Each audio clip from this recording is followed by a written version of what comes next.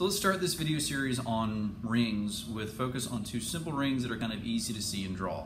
And this will be the cyclopropane and the cyclopentane rings.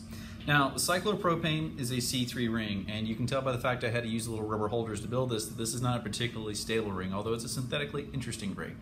Now, when we look at this from above, we were to draw the line dot structure, we'd have something very boring, we'd have a triangle like this.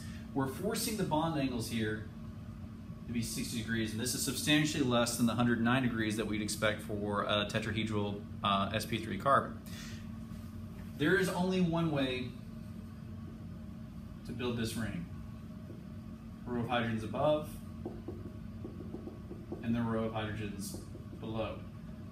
But because we do have hydrogens both above and below the ring, so the three that would connect here, here, and here, and three that would connect below, three there and there, we actually need to start expressing the stereochemistry when we start talking about how things are aligned if we have more than one species on this ring. So this is your C3 ring. How about if we go to something like cyclopentane?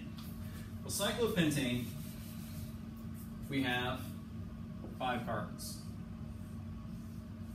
Now, our five carbon ring here, there's actually three different ways we can align the carbons. The simplest is to put all five in plane, but the thing is that this is actually the least stable of the conformations because it's going to basically force all the carbons into, let's see here, what's 180 divided by 5? 36 degree, no, more than that.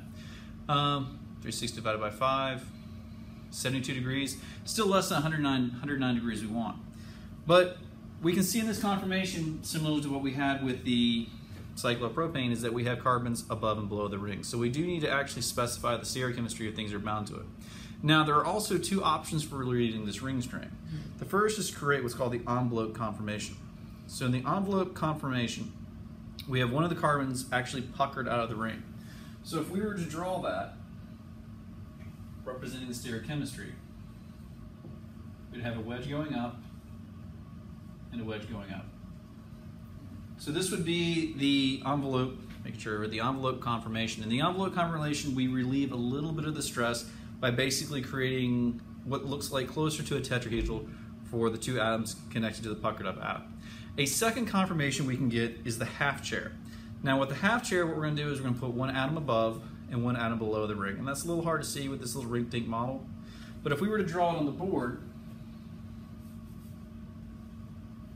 we'd have one wedge corresponding to our atom going up, one wedge corresponding to the carbon going down, and the two are connected by a bond.